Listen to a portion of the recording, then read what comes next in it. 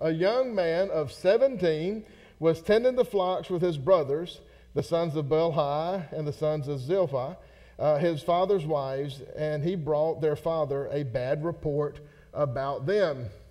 Who did he bring a bad report about? His brothers. So he's snitching on them, right? Probably not going to um, be a good idea, being that at this point in time, he has 10 brothers. Okay? 10 brothers. Um, but anyway, he's, he's brought his father a bad report. Now look at verse 3. Now Israel, being Jacob, loved Joseph more than any of his other sons because he had been born to him in his old age and had made a rich and, and he made a richly ornamented robe for him. What? Now, what's that say? Look at the meat of that verse for me, Jay. Now, Israel is Jacob here, all right? Uh, so that's his, that's his father. It says that he, he, what's it say about his daddy? Loved him more than the rest. What did you say, Jana? He was his favorite. I went over well with his brothers. He's already a snitch, okay? Then his dad loves him more, all right? Uh, has made him this, you know, this uh, uh, ornamented robe here, this coat of many colors. Um, and in verse 4, it says, When his brothers saw, so they understood it. When his brothers saw that their father loved him more than any of them, they hated him and could not speak a kind word to him. I mean, poor, pitiful Joseph here, all right? Joseph had a dream. I mean, it really gets worse. Joseph had a dream, and when he told it to his brothers, they hated him all the more. He said to them, Listen to this dream I had. We were binding sheaves of grain out in the field when suddenly my sheaf rose and stood upright, while your sheaves gathered around mine and bowed down to it. What is his problem? I mean, this is a I mean, this is a glutton for punishment. I mean, I'm the older brother. That's okay. But I mean, you know, Joshua comes to me and says, "Listen, you know, first of all, you know all them years I told on you." And then you know that mom and daddy just loved you, loved me more. And by the way, I had a dream last night, a prophetic dream, that you're going to be bowing down to me one day. Yeah, this is not going to, this is not going to go well. Um, so we, you know the story. A lot of people know. Philip, I think, has already said something about it. We, I think some people know the story that this is going to get to, but I want you to really pay attention at maybe why. okay, why uh, that that took place.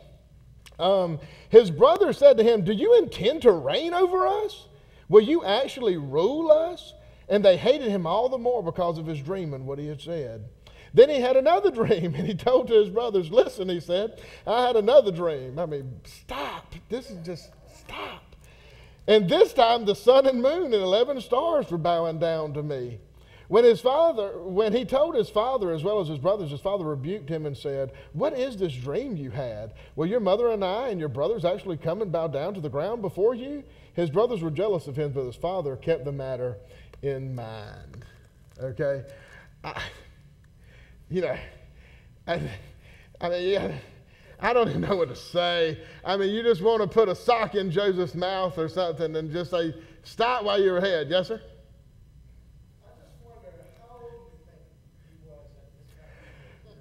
Well, as you look at verse 2, he was 17 when he was tending the flocks.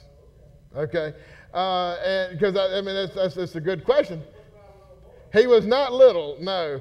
Uh, he's, he's 17 while he's 10. This, I'm sorry, this screen's not working thing is really bothering me. Uh, but just this one back here.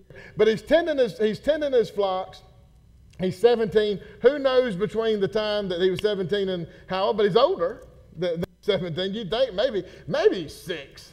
you know, or something like that. No, I mean, uh, it's just the way it is. So then we get into verse 12 real quick, and, and you, you, you understand, we've probably heard this story before.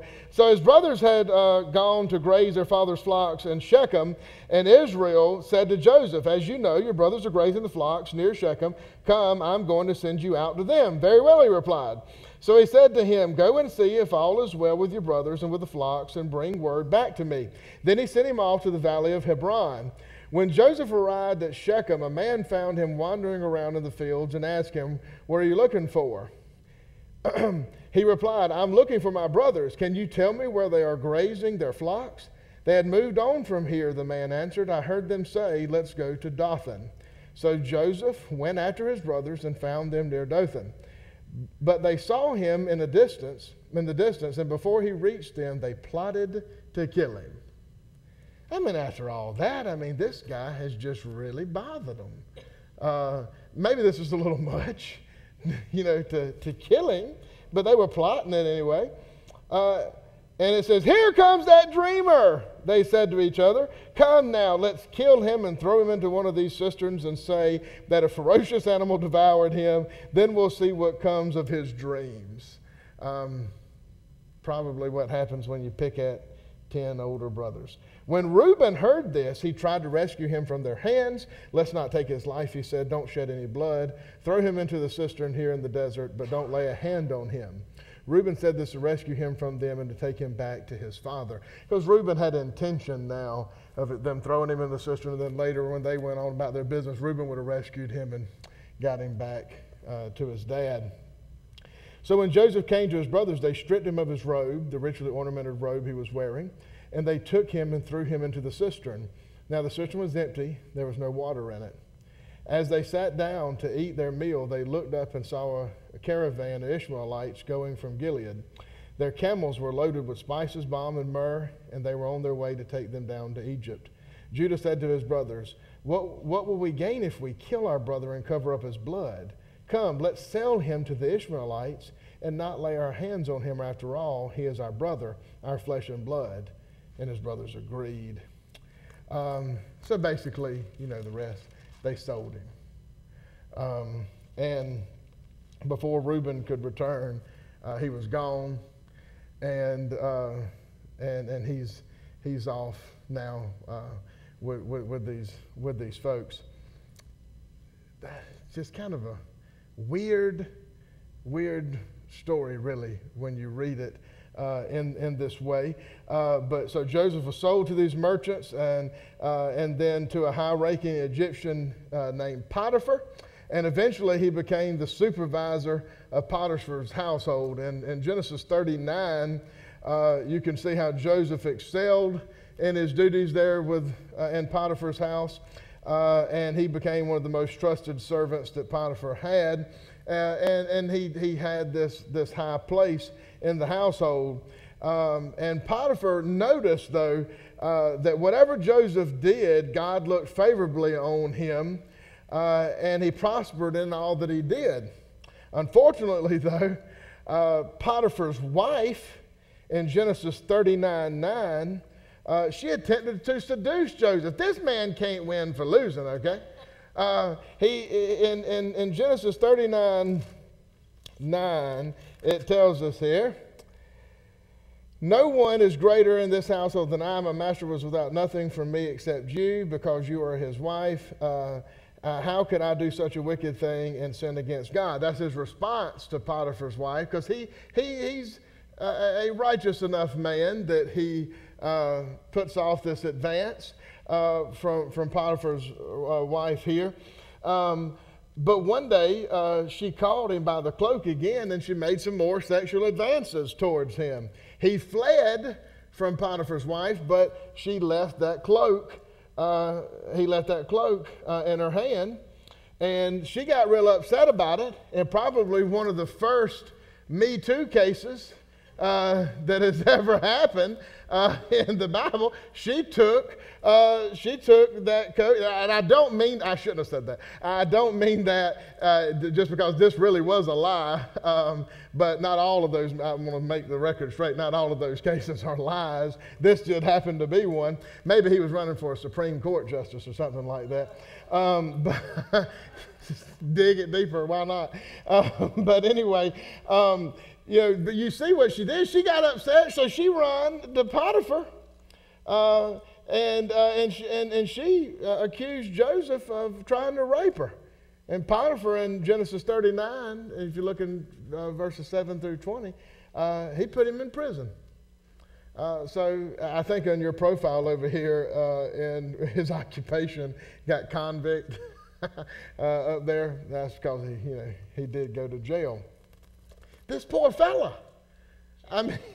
I mean, he cannot win for losing. He's doing so well and so great, and he looks so well that he catches the eye of this man's wife, and she's trying to make sexual advances on him. He's, oh, no, no, no. And then, I mean, he gets falsely accused. I mean, it's just, this story confounds me uh, the, the more you read it. In jail, uh, he was again blessed by God in verses 21 through 23. He, he began to interpret the dreams of two of his fellow prisoners.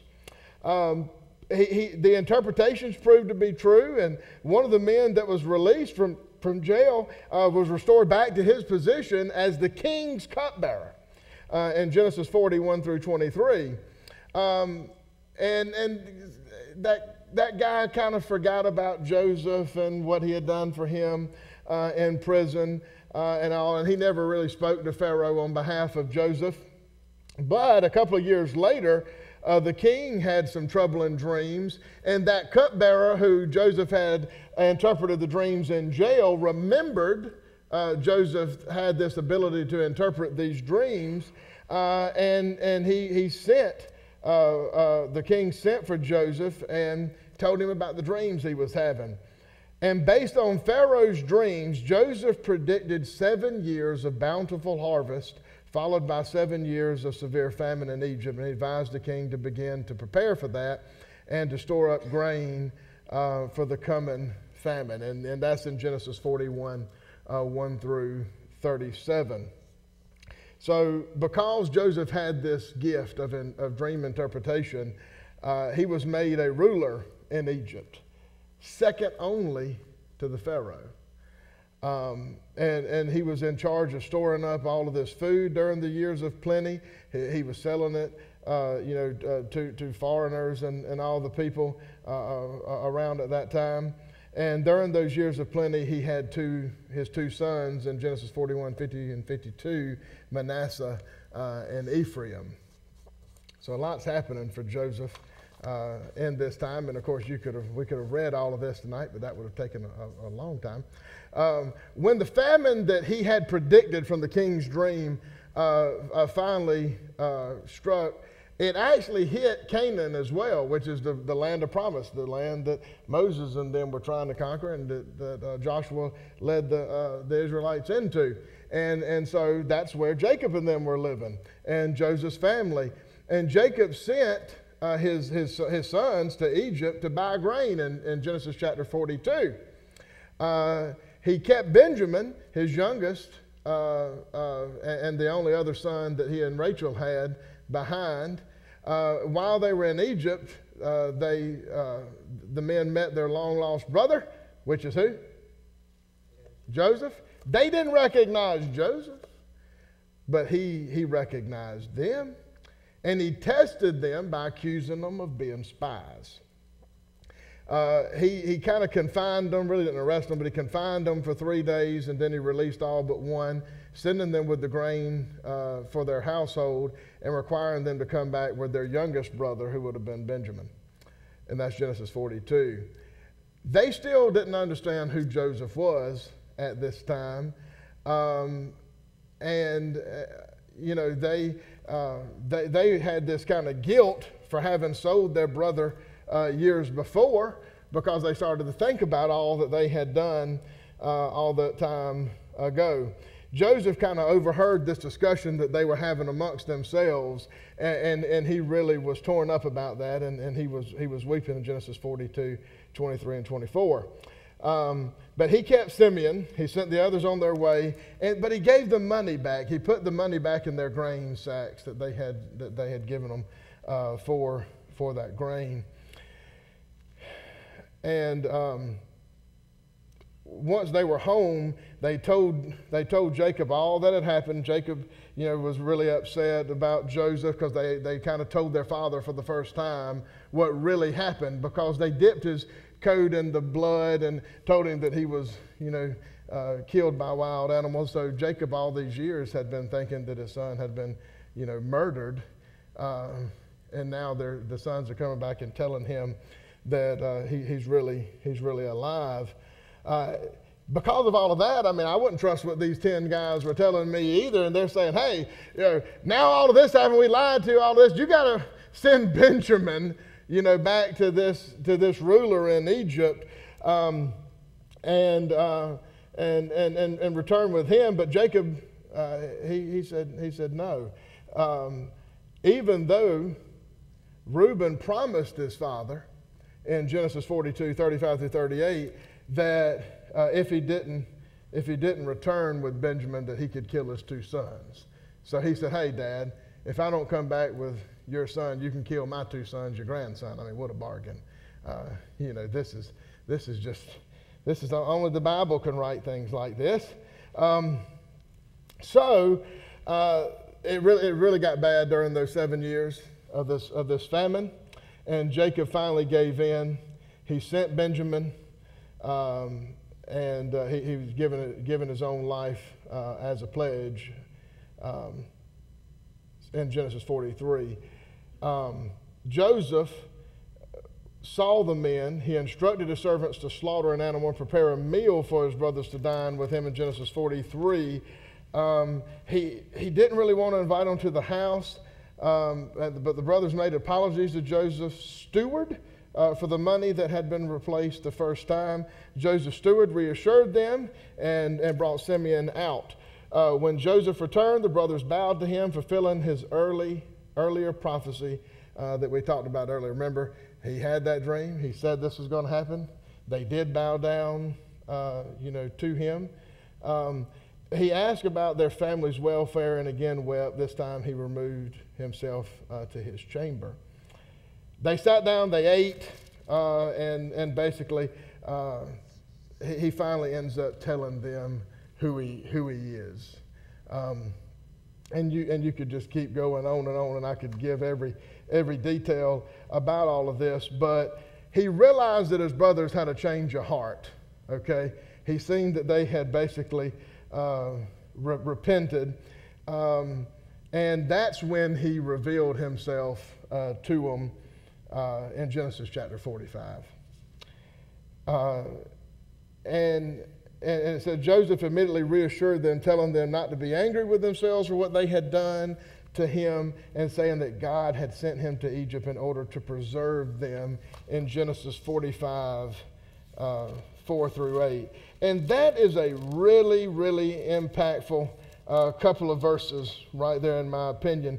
Genesis 45, verses 4 through 8 says, Then Joseph said to his brothers, Come close to me. When they had done so, he said, I am your brother Joseph, the one you sold into Egypt. And now do not be distressed, and do not be angry with yourselves for selling me here, because it was to save lives that God sent me ahead of you. For two years now there has been famine in the land, and for the next five years there will not uh, be plowing and reaping. But God sent me ahead of you to preserve for you a remnant on earth and to save your lives by a great deliverance. I mean, yeah, he had a lot of bad things going against him, but they did him wrong, didn't they? He had a lot of time to stew over what they had done to him. He had reached a, a, a, pinnacle here. He had overcome it. He had done well. And wouldn't you have thought that a person of Joseph's kind of earlier mentality where he was walking around, I'm my dad's favorite, and I'm, you know, I, I, I've got this coat of many colors, and I'm arrogant, and all of that kind of stuff, he would have said, ah, excuse me, what they did to me, look how I've overcome. And he would have done worse to them when they come up, not just let them off the hook. Yeah, but like I said, he, he grew up, but he had that time to stew over what they had done. And most people who would have come out of adversity would be looking backwards, going, Ha, you didn't win, you know, told you, look what I did. And he maybe have gotten, had gotten a, a little bit worse um, about that, but Joseph did not. Um, so he sent his brothers back to Jacob to receive the remainder of the household because he wanted them all to come to Egypt too to partake in the blessings that he was having there. Um, Jacob didn't come to live in Egypt with all his family, but before he died, he blessed Joseph's two sons and gave thanks to God for them. And he said, I never expected to see your face again, and now God has allowed me to see your children too, in Genesis 48 11. And you think about a father uh, there, and you kind of bring the humanness uh, to, to what he had been through and what he had known his children had done. But Jacob gave the greater blessing to the younger of the two sons. Um, and later in history, Israel, Ephraim, and Manasseh, uh, the tribes of Joseph were often considered um, uh, two uh, distinct tribes, not really three. But Jacob's descendants lived in Egypt for over 400 years until the time of Moses. So you, you, you, think about how Egypt is, and you see how uh, Jacob and his family come, and Joseph was there. They really had this kind of prominent role in Egypt uh, over this time. Uh, and, but prior to Moses even coming on the scene, being uh, the, the, the prince of Egypt himself later on. Uh, so you start connecting the dots uh, of these biblical accounts here. When Moses led the Hebrews out of Egypt, he took the remains of Joseph with him as Joseph had requested. And you look at that in, in Genesis 50, uh, 24 through 25, and it's also in Exodus 13, 19.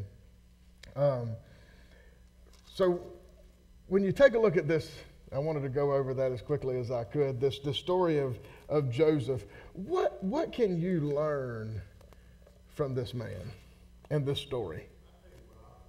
Mm-hmm.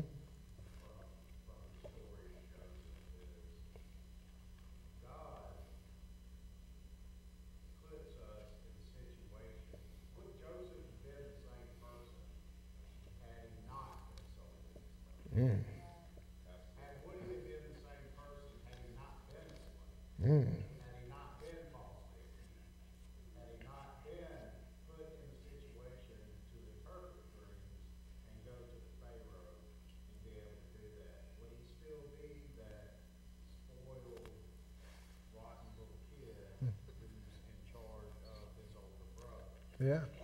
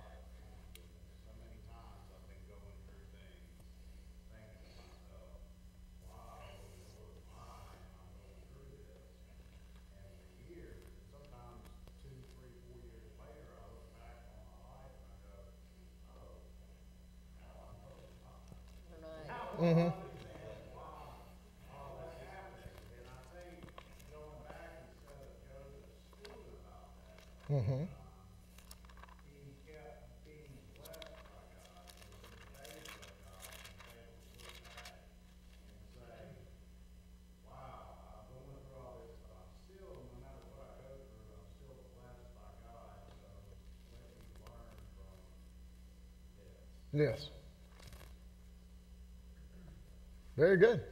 Very good. So that's, and, and for those that couldn't hear, he was basically saying that, and for people that may uh, look at the video, uh, that in Joseph's life, he was, we've seen he started out as a spoiled brat, let's just put it that way. Uh, and, and that he probably would not have turned out to be this merciful and forgiving uh, man of God had he not went through trial and tribulation in his life where God was uh, preparing him uh, for that. And, and you apply that to our lives that we go through circumstances and we may not understand them in the moment, but you know as well as anybody else when you look back at your life and, it was horrible and you didn't really understand how you'd even get through it, but you look back and you just see God's hand uh, kind of molding and shaping uh, the circumstance. You look back and laugh, said. I look back and cry sometimes.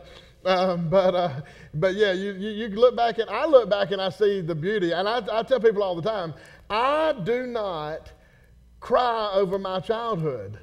It was a, a difficult one. It was not circumstances. I, I some people don't even know uh, some of the stuff about. I mean, you never hear about my dad. I mean, I don't talk about him because he's not in my life. It was between two people. Uh, neither Joshua nor me knows who our dad is. Uh, really, the man that I've always thought was my dad probably isn't. Uh, you know, all of the issues that I've had over uh, over my life. I don't look back at that and have a pity party and cry and say, well, I wish we would have had this Walton's type of uh, upbringing with everybody in the house and all that kind of stuff. I wouldn't be the man I am today if I hadn't have gone through that. And that's, that was what Ben's point uh, was about, uh, about, about Joseph. Everything that you've done, every high point, every low point, uh, should have taught you something. Okay? Sometimes we don't learn, and you get a repeat, you know, knock across the head. Um, but, but that's one thing from Joseph. What else could you learn maybe uh, from, from the life of Joseph? What about, what about from a parenting? What can you learn from how Jacob was with, with Joseph?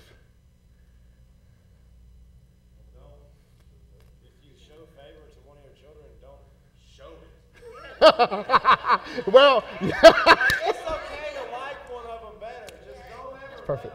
That is so perfect. That, Yeah, okay. Jana, and she's, she's got us by so many more years, so we have to bow to, bow to her wisdom. That, that no, I'm, saying that as a positive thing. That you get what she said uh, wasn't necessarily disagreeing, but it was putting it more plain. You had to make each of them think they're your favorite. So that's, that's wise words there. Yeah, yeah. Uh, because what, uh, Carol, come on, she's got a herd.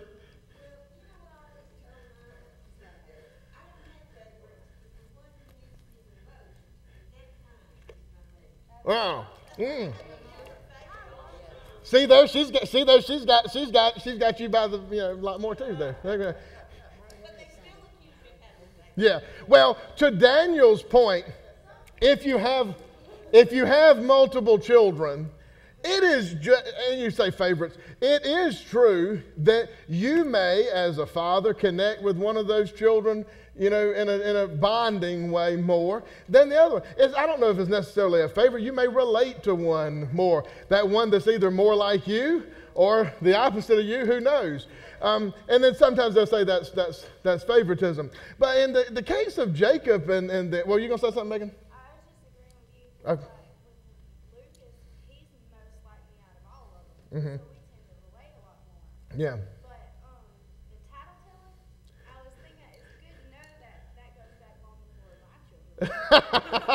That's an age old problem. And, and this gives a lot of uh, uh, meaning to snitches get stitches. Uh, I mean, man.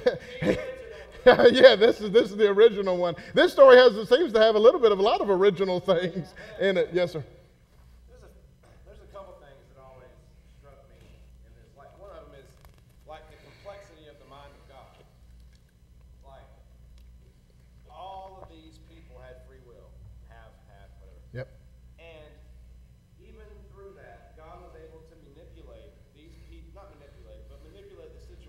Steer. To get what he wanted from it while they have free will to sell him into slavery. Because it's just, it's very hard for my brain to like, you, you ever like almost understand something, but there's like a wall right yeah, there? Yeah, That's how I feel like when I think about God. It's like I almost want to try to understand something about him, but it's like he has a wall up there.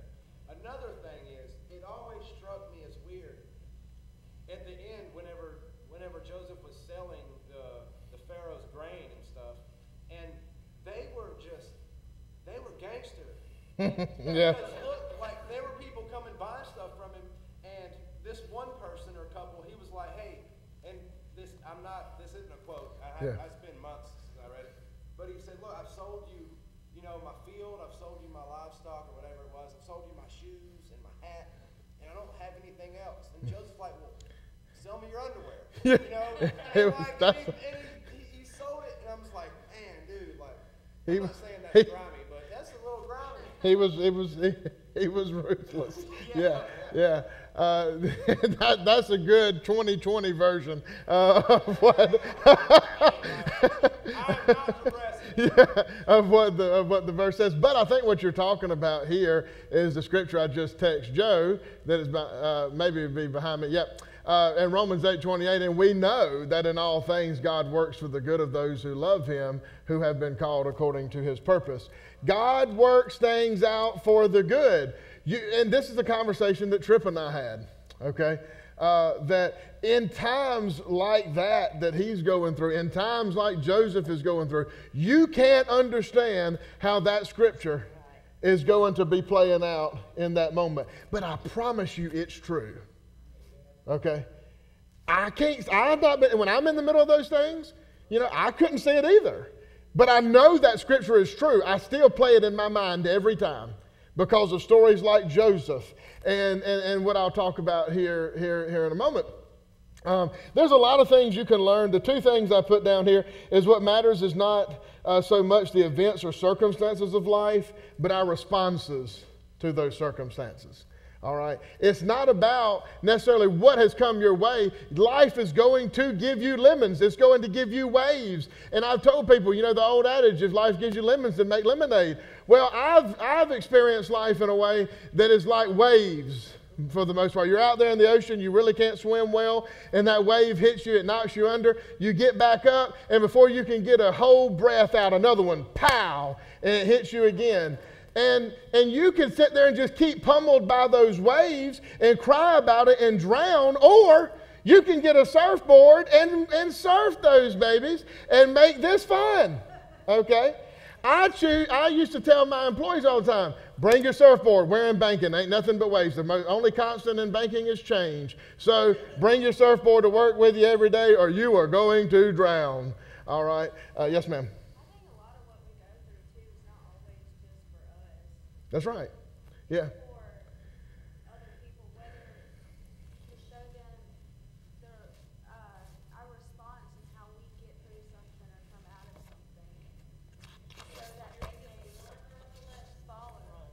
Yeah, Jenna said you're either the learner or the lesson.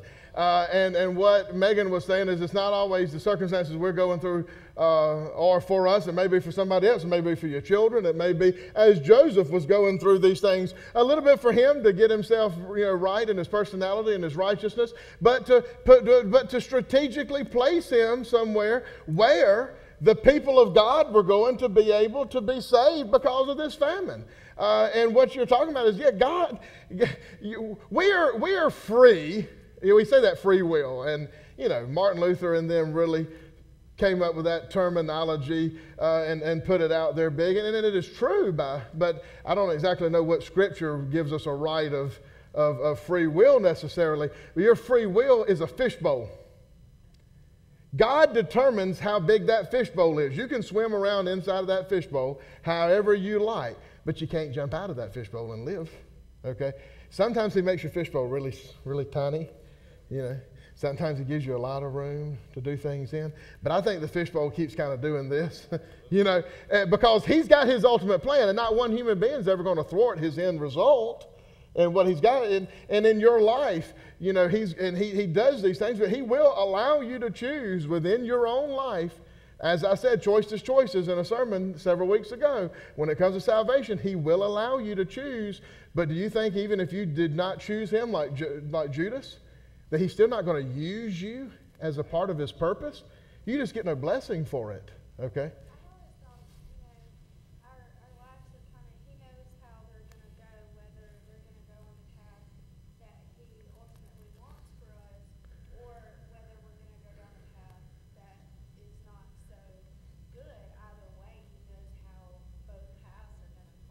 Yeah. Yeah. God, God and his in his providence in his all knowingness knows what we're going to do. That somebody asked me one time, well, does that mean you can't choose something different? That just means he knows you'll, you'll change your mind. You know, he's not forcing you to do it that way. But if, and I said before in that sermon, choices, choices, if he doesn't give you a choice, then he's chosen for you. Okay? Uh, so he has to give you that choice.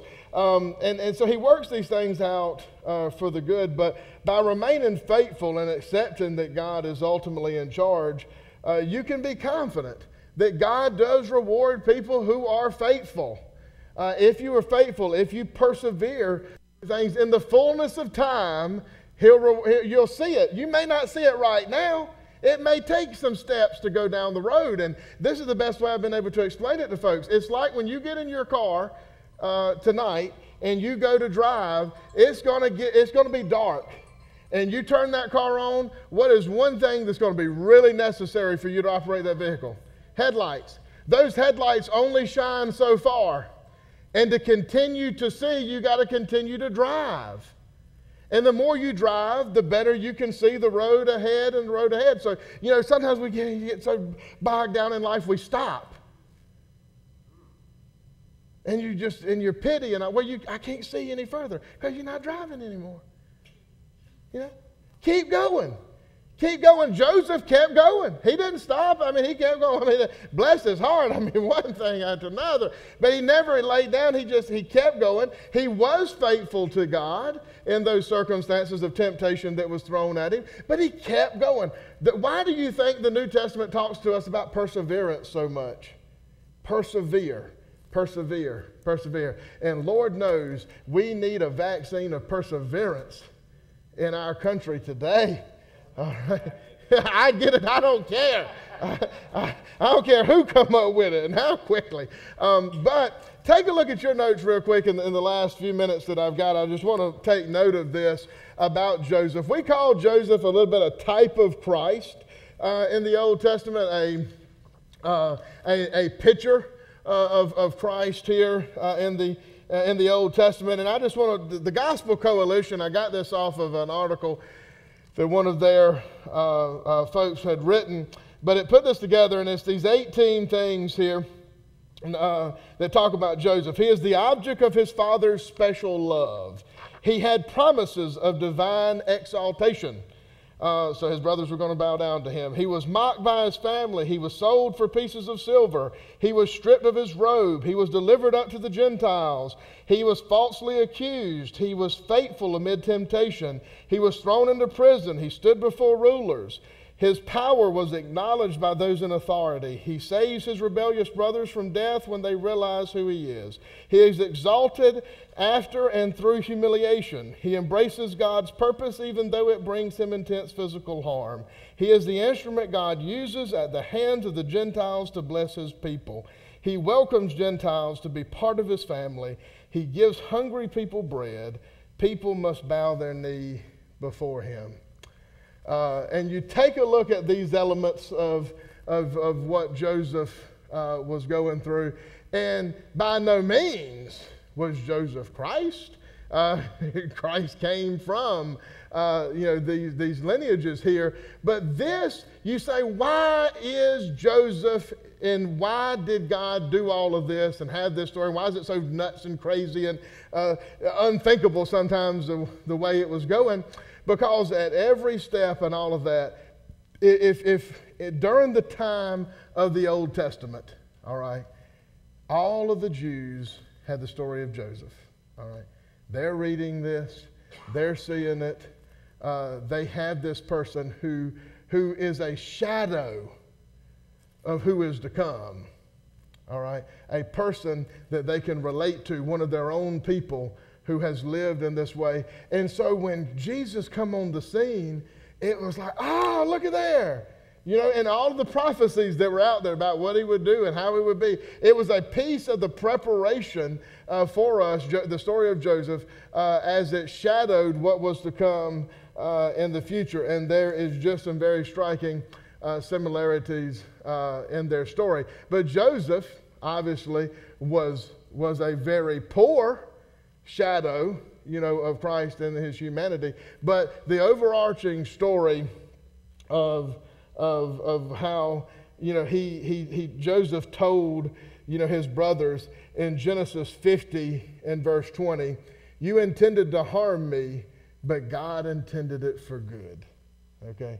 What you intended, uh, I remembered that in the King James years ago, but uh, what you intended for me for evil, God intended for good.